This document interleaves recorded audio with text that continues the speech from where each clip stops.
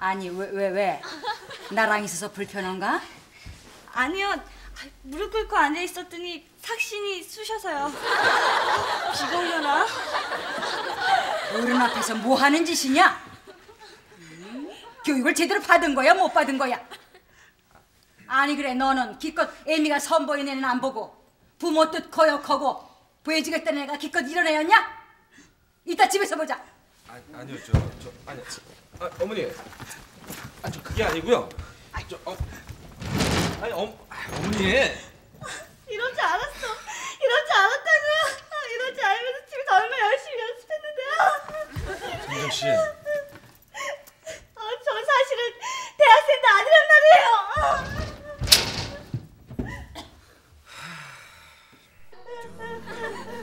그러게 애시당초 모도를 하면은 쳐다보지도 말랬잖아.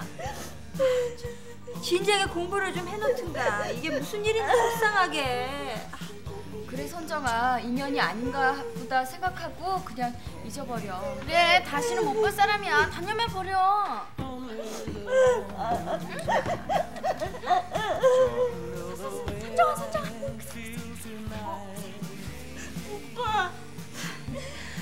이 선생님이시죠? 아 선정이한테 말씀 많이 들었어요 저 선정 씨랑 잠깐 얘기를 좀 했으면 안 돼요? 아 네 그러시죠 뭐 선정아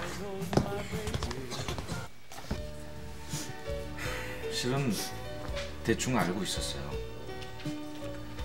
하지만 대학이라는 게 뭐 그렇게 중요해요. 대신 선정 씨 맑은 영혼을 갖고 있잖아요. 그래서 결혼 같은 거 별 생각 없어요. 우리 어머니가 하도 이 여자 저 여자 선보라고 해서 선정 씨 핑계를 댄 거예요. 미안해요.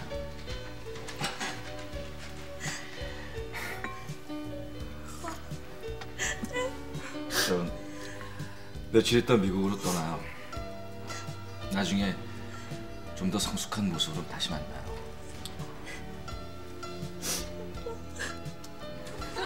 현진 씨는 웃는 모습이 더 이뻐요.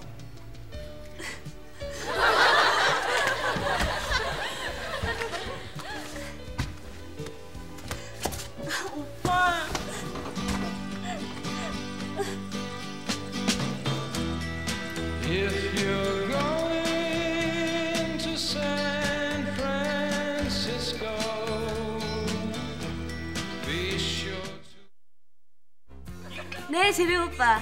예, 안녕히 계세요. 저도 잘 있을게요. 예, 그건 꼭 빨리 보내드릴게요. 네.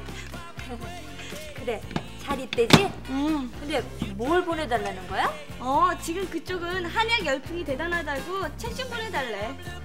무슨 책? 허찬 선생님이 쓰신 동의보감.